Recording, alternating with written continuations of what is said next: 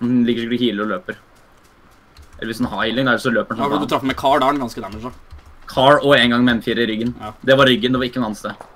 Da er den sjukt damage, og i verste fall så er armen så jævla ødelagt. Jep. Vi får litt sone på oss. Jeg håper du tåler det. Her var det bil som er parkert, ja. Håper vi får et fint tre, ikke noe jævla shit sånn uh, Husen er garantert en person. Jeg hørte skudd. En der rett foran oss. Knocka han ut. Å, nice. Det er en til der borte ved steinen. Nå, drept den!